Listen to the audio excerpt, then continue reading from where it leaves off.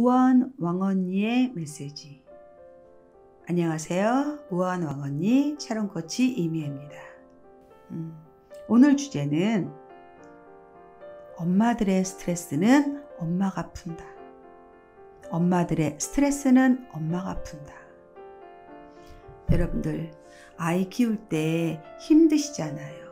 특히 우리 아이를 낳아서 초등학교 1학년, 2학년, 즉 8살, 9살 그 10년 정도 키우신 분들은 많이 지쳐 있습니다. 코치님, 언제까지 이렇게 살아야 돼요? 저 사실 우울증인 것 같아요. 매사 재미가 없어요. 저는 언제까지 아이들 학원에 데려다 줘야 돼요? 제 삶은 없어요? 저는 무슨 낙으로 살아요? 남편 매일 늦게 들어와요. 여러분들이 자주 쓰는 독방 육아 뭐 이런 표현 많이 쓰시잖아요. 즉 내가 아이를 낳았는데 내가 책임져야 될 부분이 너무 많은 거예요. 이제 점점 부담스러워지는 거죠. 그러다 보니까 스트레스가 계속 쌓이는 거예요. 그렇다고 대놓고 나는 아이를 키우기 싫어 할 수도 없고요. 나는 아이 키우는 것보다 돈을 벌겠어 라고 나갈 수도 없고요. 그렇다고 아이는 밥 세 끼 먹어야지요.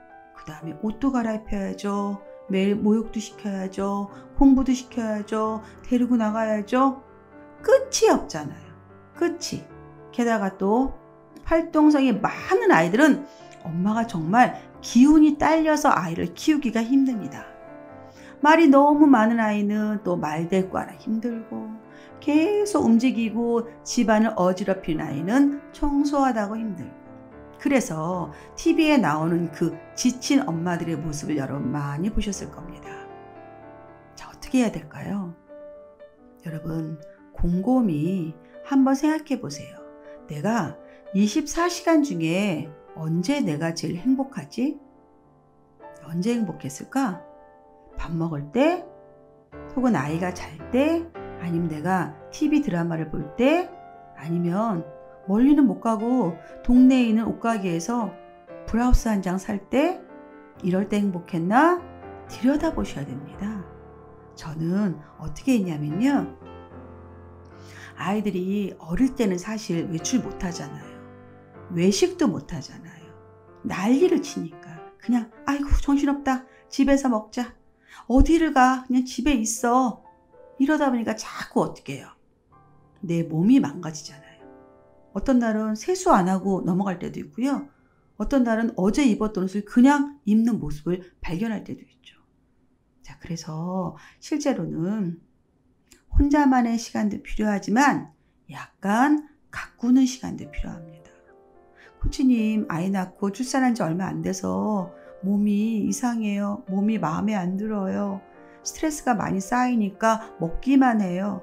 아니면 그냥 계속 짭짤한 거, 단짠 먹으면서 그냥 TV만 봐요. 홈쇼핑이 제일 재미있는 것 같아요. 이런 분들도 많습니다. 전 여러분이 미디어 다 끊고, TV 끊고, 카톡 끊고, 일단은 인스타도 안 보고 혼자 그냥 가만히 있거나 아니면 그냥 제가 추천하는 거는요. 그냥 인간극장 보라고 얘기합니다. 음. 인간극장 보시면서 특히 어떤 거 음, 부모의 예를 들어서 자녀에 대한 사랑, 부성애, 모성애 뭐 이런 걸 자극하는 거뭐 효심도 좋아요. 여튼 인간과 인간 사이의 아름다운 장면을 그린 그런 인간극장을 보면서 좀 우셔도 좋아요. 아니면 아, 저 사람 더 힘들구나. 내가 이 정도면 행복하구나. 라고 반대로 생각하셔도 됩니다. 자, 이런 것도 괜찮고요. 아니면 핸드폰이나 혹은 PC에서 음, 내가 나에게 일기를 한번 써보시는 거예요. 예. 너 오늘 뭐 했다? 어땠다? 너 힘들었지? 제가 저한테 편지 형식으로 한번 써보시는 거예요. 그것도 생각보다 효과가 좋답니다. 그리고 이도저도 아니다. 나 나가야겠다. 그러면 한 달에 한 번 정도 정말 공식적으로 예, 친정 찬스 쓰세요. 친정 엄마 한번 부르고요. 아니면 그냥 음, 요즘은 시터도 많더라고요. 아니면 남편이 요즘 예, 연차 월차 휴가 많이 쓸 수 있어요. 반차도 쓸 수 있고요. 그래서 나 한번 나가겠다. 뭐 할 거야? 아, 나 일단 사우나 한번 할래. 나 일단 한번 한번 돌아다닐래. 나 그냥 한번 고궁이 한번 갈래. 아, 나 백화점 한번 가고 싶어. 나 혼자 우아하게 정말 어, 스테이크 한번 먹고 싶어. 그거 하세요. 그래야지 풀립니다. 물론 그게 너무 자주 되면 실제 육아와 교육이 너무 재미없어지거든요.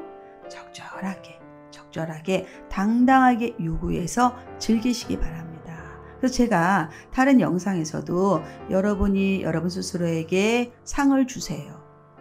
여러분이 원하는 거 하나씩 사세요 라고 했잖아요. 실제로는 물질적으로도 좀 보상받아야지 스트레스가 풀립니다. 그래서 남편과 여보 나는 지금 너무 많이 쌓였어. 내가 세 번째 주 목요일 날은 조금 나 쉬고 싶어. 당신 휴가 내. 엄마 나 이번에 조금 어디 좀 갔다 와야 될 것 같아. 이래서 미리 미리 예방주사 받듯이 스트레스를 푸시는 게 참 좋을 것 같습니다. 그래서 어머 어떡해요. 누구한테 도움을 청해요 라고 걱정하지 마시고요. 조금 궁리해 보세요. 그래서 엄마의 스트레스는 누가 푼다? 엄마가 푼다.